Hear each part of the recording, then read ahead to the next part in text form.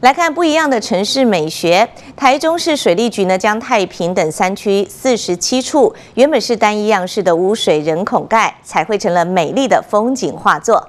像是丰原区有就以木材及伞地为发想主轴，设计了山峦绵延的风线，还有满载木头的运木车等，展现在地的文化特色。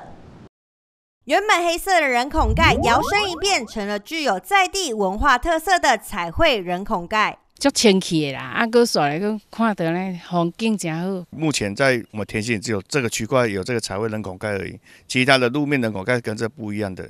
当然做完之后，真的整个能跟公园配合配合起来。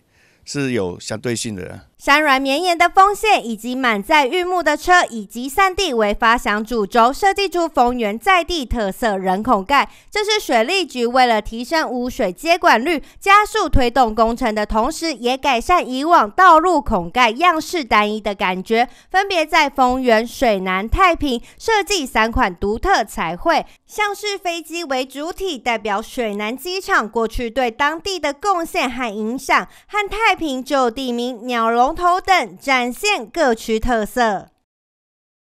除了美化山区的四十七处彩绘人孔盖、污水接管，减少住家周遭恶臭异味及病媒蚊的产生，也将路面重新整修，提升居民生活品质，也改善周边的交通和行人安全问题。芒塘鸟鼠啊，迄拢无啊，水无流流到真利吼。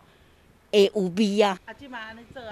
拢无味，拢无味。然后后向用户接管完了以后，水利局这边会针对用户来做一个美化，看用户他这边哈，大概后向如果有一些围墙，看要做一些彩绘哈，或者是说，诶，这个后向的地板上有一些彩绘，这样的话可以加强说，诶，用户接管呢完成了以后，其实后向变成一个很美观的地方。